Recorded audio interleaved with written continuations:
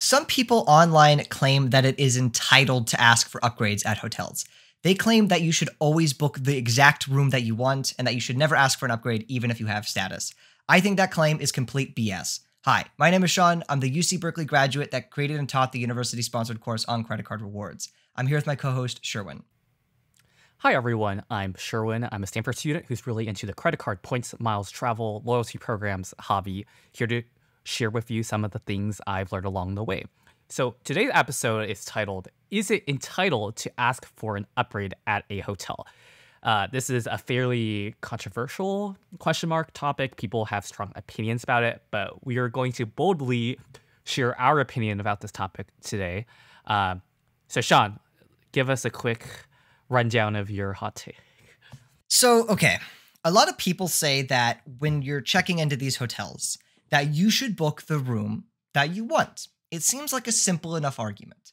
Don't get disappointed when you don't get upgrades, even if upgrades are available. If you want that room, you should book that room.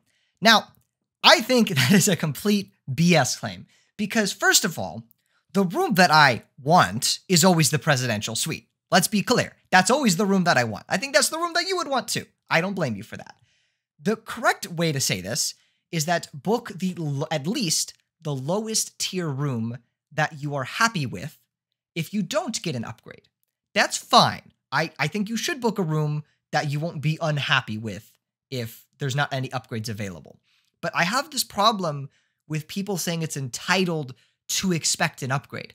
I think if you have elite status that is supposed to grant you an upgrade, which you are eligible for, and then that upgrade happens to be available when you check in, that you should expect that upgrade you have held up your end of the bargain with the hotel chain by acquiring that status. It is now their turn to hold up their end of the bargain by giving you that upgrade that you are supposed to be eligible for. Yes. To be clear, what Sean is maintaining and what I agree with uh, is not that, you know, we should expect and demand that upgrades be available when they're really literally booked up. That's not what we're saying. We're saying it is problematic when a hotel would rather leave the room empty or try to sell it super last minute, even though it's improbable, um, than to upgrade one of their elites. Uh, and you know, this whole concept of entitlement, I think, is I think people oversimplify it, right? Like when someone has elite status as a hotel, generally that means they have been loyal to that hotel chain or they've earned it through some credit card. And you know, even if you earn it with a credit card, that's a legitimate status because the bank of that credit card is paying money to the hotel chain, so they're getting revenue from you from doing that. regardless, you know, room upgrades are generally an advertised aspect of a loyalty program that consumers participate in. Understanding that by spending more nights at these hotel chains, by spending on your credit cards, whatever, they're able to access these benefits. It's not something people are arbitrarily demanding uh, because they think they should get everything in the world. No, it's like, you know, they have held up their end of the bargain, as Sean said, with that hotel loyalty program already that status. They should expect, uh, heck, I would say they should be entitled to those upgrades, having spent, you know, those nights, uh, having having gotten those credit cards where the banks are paying the hotel chains money uh, for those benefits. I agree, and I think I've I've seen this sentiment, and some people like in some comments have said this to me, where, oh, you guys, you guys don't know what loyalty is. You're just getting it through the credit cards and using points for all your stays. So what? They've let us do that. That's how they've defined their loyalty program. I didn't make Hyatt have to accept these made up points. They created them and they said, okay, you can use these for stays. I am following the guidelines that Hyatt set out. Okay, yes, I'm not paying cash for all my Hyatt stays. So what? I'm transferring the points from Chase into Hyatt. That is something that Hyatt has specifically defined us as consumers to have the ability to do. We are following the, their loyalty program as how they have laid it out. So just because we're earning status with a credit card, just because we're using free night certificates, just because we are kind of playing the system to our advantage, it's their system that they made. So we are following all the rules here. So if we have acquired the statuses that we are trying to acquire, it doesn't matter how we did it. loyalty is not defined by the number of nights you stay with a hotel chain, believe it or not. It's defined by the elite status you have acquired with that hotel chain. So, whether that be acquired by spending the actual nights, spending on a credit card, earning it via credit card, it doesn't matter because we have followed those rules as they have laid it out. So, it is not entitled to ask for an upgrade. I think we should also talk about how some etiquettes we have about getting upgrades. So, as you have said before, we're not expecting upgrades when the hotel is sold out. Okay, I'm not going into a Marriott property as a silver elite going, I see the presidential suite available on the app. Why aren't you giving it to me for my 14 night stay that I booked through Expedia? Okay, like we're we have reasonable, you know, expectations and requests. Our expectations are okay, I show up to a Hyatt as a globalist and I see on the app a standard suite available for sale. I expect to get that standard suite because that is how Hyatt has laid out the terms of their program. And, you know, in Hyatt's usually they have done that, but if there's an issue, that is an issue that I believe to be a legitimately big enough issue to complain about to a concierge or to uh, just Hyatt customer support because that's how they've laid out the program. Our expectations are not unreasonable by any means. They're all just what the program has defined and what the program has advertised itself to be.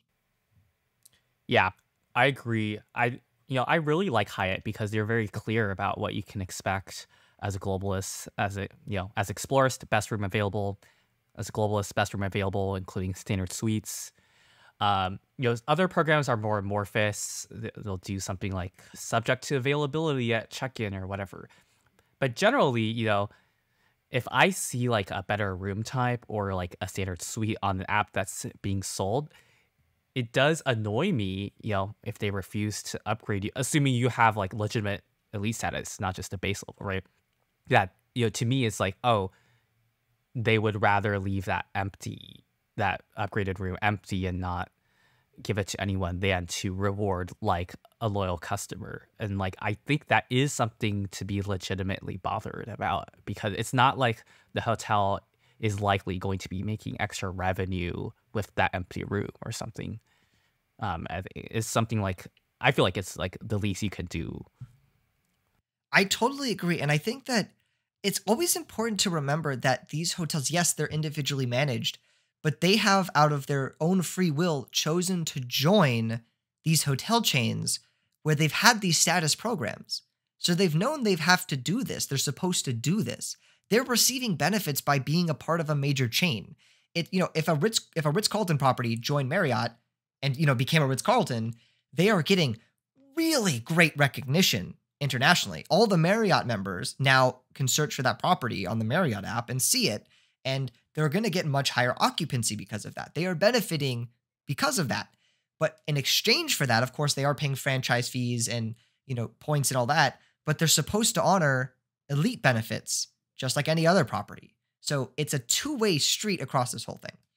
I think we should also cover some kind of misconceptions people were probably already typing down in the comments. So, okay, but the app doesn't always show accurate room inventory. BS, come on. You're telling me, like, now, granted, there's some exceptions, but really, you're telling me if I can go on the app right now and I see five different suite categories available that are all like, let's say, you know, fairly low tier. Like I see a junior suite, a better view room, a standard suite, and even let's say just a premium suite, all available on the app. Like, come on.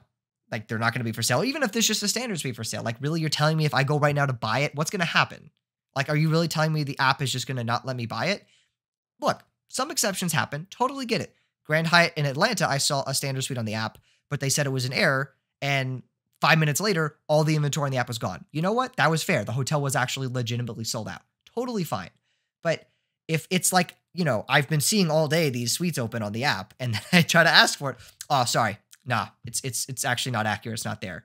Like I know it's there. They just don't want to give it to you. Again, I feel like it, it, really bothers me when it, I think it's duplicitous, frankly, to say that, oh, sorry, we can't upgrade you because it's not available. It's sold out. Uh, when we know that to be false based on the apps.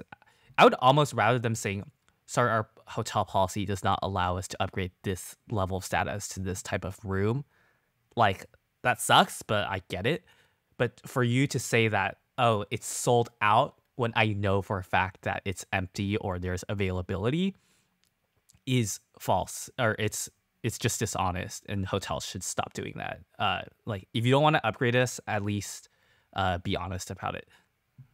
I agree. I really appreciate when a hotel is upfront and honest. So, like, I'll give you an example. I was checking in, uh, and we talked. I talked about this hotel previously, the Royal Hawaiian in Waikiki. I was checking in. I was trying to get an upgrade, and you know, I eventually did get the upgrade. But before that, the lady was telling me that, uh, to be totally honest with you, you know, your platinum status, you are eligible for upgrades, but there's a lot of elites, and we do have to prioritize in order of elite status.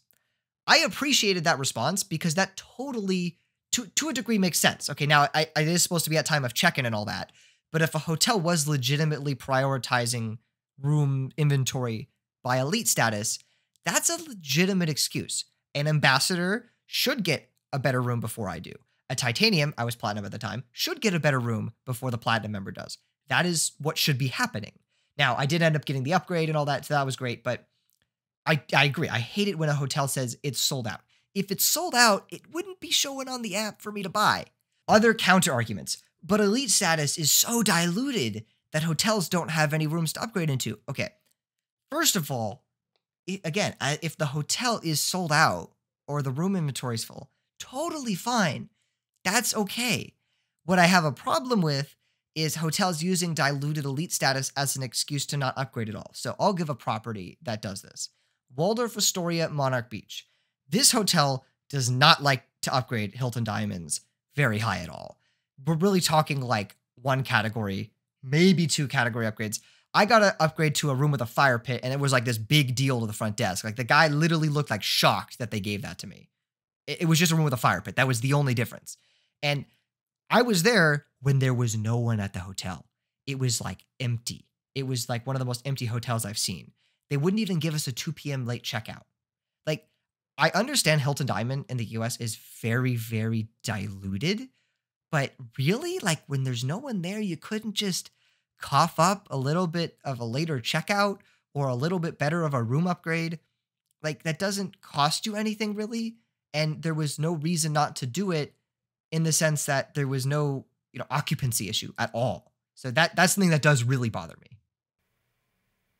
Yeah, I think it's fair. I think again, it, we are reasonable in that we're not going to demand upgrades when you know it's busy, it's full, there are other elites or whatever. Uh, I think our more nuanced, precise argument is that what bothers us is when there is that availability, and they just don't want to honor it. Uh, and again, it's not because you know, we we think we're very important people and we should get all the stuff we want because we're entitled. But no, because we have invested our time and energy and to some extent some revenue, whether through paid stays or through credit cards, toward an elite program.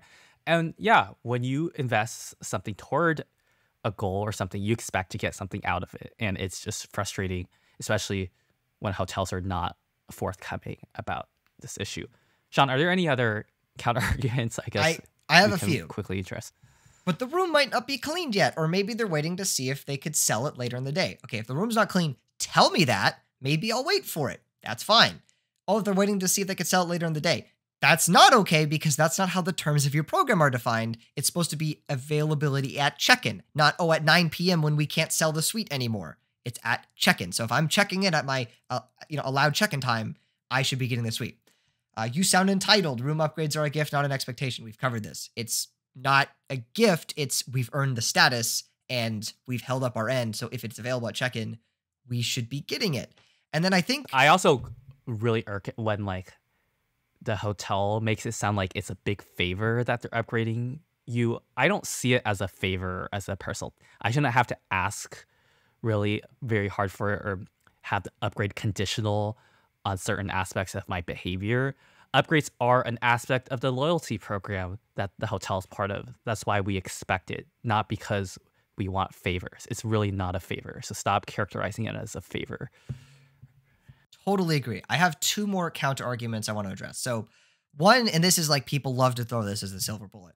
The terms state that upgrades are up to the hotel's own discretion. It isn't guaranteed. Okay. Hyatt, that does not true. Hyatt is very, very clear on that for the other chains, the thing is, this is my argument. Okay. Hotels are in the business of hospitality. They're supposed to host you, they're supposed to give you a good experience. There's a reason I'm not going to Airbnbs, especially at these luxury properties. There's a reason I'm, you're paying the premium, whether it be cash or points. You're trying to do it as a good experience. If I'm in a hotel that has reasonable upgrades available and refuses to give them to me just because they're not arbitrarily defining them as available, that's a bad, stingy hotel. That's not a good hotel. To quote from one of my favorite YouTube creators, who probably, I think he quoted from someone else, Flip Flop Traveler, in hospitality, perception is reality. If, as a guest, we perceive a hotel as stingy, it doesn't actually really matter to some degree how stingy they are because what matters is the guest perception. The point is the experience. Now, again, we're not being unreasonable here. I'm not expecting the presidential suite. But if there's a standard suite and the hotel just arbitrarily refuses to give it to me, that's a stingy hotel. I don't like that hotel. The final counter argument is you guys sound like awful guests to deal with. You must be so rude coming out here, oh, pulling out the Hyatt terms of service. We got like three lawyers in the back going combing through it and saying, no, you, you got to show it, give us this. First of all, both of us do our very, very, very best to always be extremely polite and respectful to every staff member at every hotel. When asking for upgrades, even though here we're saying that we should be entitled to the upgrade, I never go, "Oh, I'm entitled to the upgrade. Give me the upgrade." I just say, "Oh, hey, um, you know, I'm really excited to be here. I see on the app that this room is available. Would it be possible to receive a globalist upgrade, a platinum upgrade, a diamond upgrade?" And then if it's beyond what I'm supposed to be, sometimes I'll even throw in, "Look, I know it's usually beyond what I'm supposed to be entitled to. I'm just curious because if you had any extra availability, looks really cool." And one to do that because it's nice to just be nice to people in general. It's a general principle of traveling and being a decent human being. But second, if your goal is to get an upgrade, being nice is the best strategy possible. They don't want to upgrade people that are mean. I will push back if there's, you know, if they're just blatantly denying me uh, a standard suite when it's open or a room upgrade, I will gently push back and and say like I do see it on the app. Is it possible to double check uh, with X status or whatever? I think it should be eligible. But again, never being rude, anything like that. If I really do want to complain, there's a respectful way to complain, whether it be on the survey, whether it be sending in an email. You don't have to be rude to the front desk. So just because we are complaining about something doesn't mean we're just automatically rude to the front desk. We always do our very best to be as respectful and nice as possible. Yes. I think it would be helpful to close with a few examples. So um, I'll share, I know Sean already shared the Waldorf Astoria Monarch Beach as a negative example. So I'll share two contrasting examples to make my point a little clearer. So there's this one property, I'm not going to name it directly, but they we were globalists at this high end. they offered us some kind of upgrade, but there was a, a higher upgrade that I was wondering if I could get. And I asked, oh, would it be possible to get that room? Now, when I asked, I already knew that the room was available in the app. However, I did not necessarily expect to be entitled to that upgrade uh, because it was kind of a higher category. Now, if the check-in agent had said, "Oh, sorry, uh, our policy is to only upgrade to the category we offered you and not the up one," it would have been fine, right? I wouldn't have said the more I've accepted. I wouldn't have been t- too disappointed. It's just worth asking. But that's not what she said. She actually said, "Oh, sorry, we are sold out of that room type." right? And that's where the problem occurs because I know for a fact that the room was actually available according to the apps. Uh, so then I, you know, pushed back again respectfully and gently. We're not be- trying to be mean or annoying, right? We're just trying to understand the situation. So I was like, oh, I did see that it was on the app earlier. Would you mind checking it again? Um, and then then she had to go talk to a manager or whatever, and then suddenly the room became available for some reason, even though it was supposedly sold out. So you know that's not a great experience. Uh, I think if she had just told me like, oh, this, sorry, we don't upgrade to this type of room, like I wouldn't actually have been upset. But the fact that they said it was sold out, even though it was like, just don't assume that your customers are unaware of things or um, you know, honesty always goes a long way. I'll give you a contrasting example of a really good experience I had. Um, I was going to the Waldorf Astoria Los Cabos. Uh, so it's actually a very recent trip, and not even close in, but months ahead of time, uh, I emailed the general manager and asking, "Oh, it wasn't like I wanted to score a big upgrade or anything, to be clear, but I was like, oh." We're gonna have four people in this reservation. Would it be okay for you to accommodate us? I understand the base room that can be booked using points only has one bed, so we prefer we have two beds, but we understand this is subject to availability, whatever. And then uh, the not only did the manager say they were able to accommodate us, but he automatically upgraded us to a room with two beds, like multiple months before our stay, which is already really amazing because it's not something we expect. It's just, uh, you know, as Sean said, really good hospitality. And then like a week or so before our stay, uh, it got even better because I saw an app that automatically upgraded us even more beyond. In fact, to a two bedroom villa that was easily the most memorable hotel experience I've ever had in my whole life.